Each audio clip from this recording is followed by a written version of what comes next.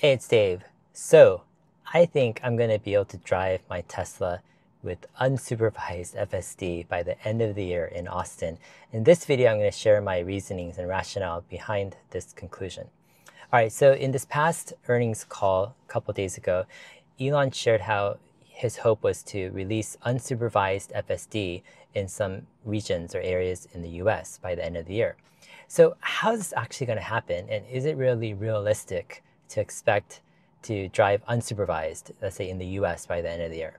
I think it's somewhat nuanced, and it, so I want to kind of break it down and explain my, my reasoning and thought process behind why I think in certain areas it could be possible. All right, so first off, we need to go back to how Tesla is expanding their robotaxi geofenced area and how that's going to intersect with unsupervised, let's say FSD for the regular person. So we know that Tesla's robotaxi build is several months ahead of general production, according to Elon. And Tesla's job is to bring some of those improvements back into the general release. However, if you think about it, what is Tesla doing specifically to make robotaxi that much better, let's say, than our version 13.2.9 in our cars today? I think first off, they could be using obviously a more advanced neural net. They probably could have already increased the parameters of the neural net, more data, uh, more training, etc. However, I think probably uh, one crucial part of the training could be the use of simulation.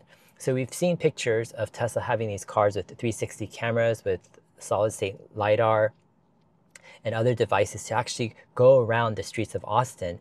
Some people call it validation. In my opinion, I think one of the key kind of use cases that Tesla is using this for is they're gathering basically images and data of all of the streets in their geofenced area and they're feeding that into their simulation engine where they're creating a simulation of all of the streets in the geofenced area.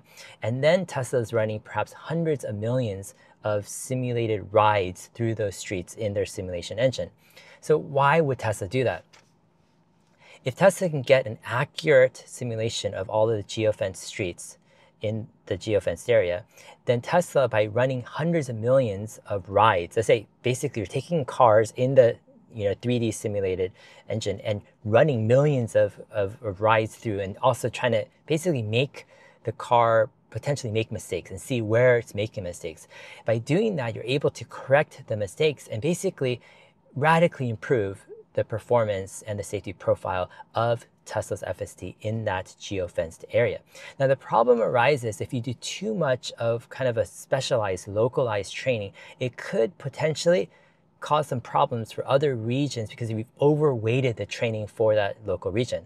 Uh, now, it could improve driving overall in many other areas as well. So that's one of the reasons Tesla needs to validate um, the general release to make sure that it hasn't introduced um, some regressions in other parts or other areas of driving. Now, by using, let's say, simulation, better neural nets, and other techniques, Tesla has managed to make the robotaxi FSD significantly better than the general release of FSD.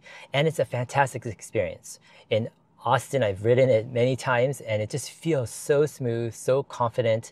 It just feels like a whole nother like step change from the regular FSD version. Now in the earnings call, we know that they don't have a ton of usage data to date. I think it's about 7,000 miles or so, which isn't a ton.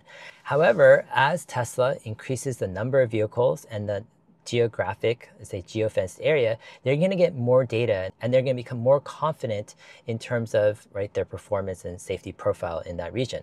At a certain point, Tesla will feel safe enough and confident enough to remove the safety monitor from the car. At that point, you're going to basically have an unmanned uh, robot taxi, right, taking people around um, that Austin area and other cities as well. Now, as Tesla gets better with that and they become very confident and they can increase the number of vehicles, of unmanned vehicles in that region, it's going to enter a certain point where they're going to feel like they can actually let people use their own cars using unsupervised FSD in that same region. In other words, unsupervised FSD, I think, will first roll out in robotaxi geofenced areas that have been proven to be safe with unmanned robotaxis. So how will that look specifically?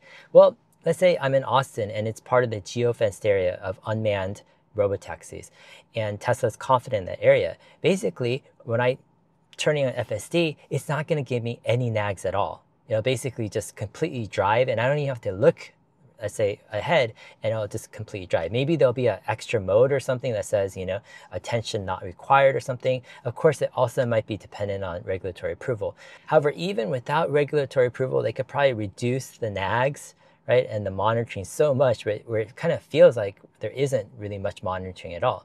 And I think overall, this is kind of the safest and most prudent approach where Tesla goes ahead into certain regions with their robotaxis, with safety monitors, and then basically they back it up with unmanned robotaxis, prove out, right, the safety and performance in certain areas, and then have people use their own cars, right, in FSD mode, but with basically very little monitoring, if any at all. So anyways, this is why I think it's actually possible that I could be driving unsupervised FSD in Austin by the end of the year in my car.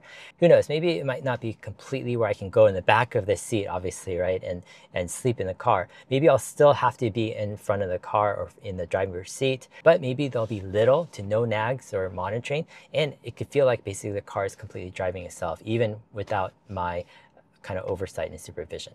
And it's exciting because we're still in the early stages of FSD rollout or robotaxi rollout.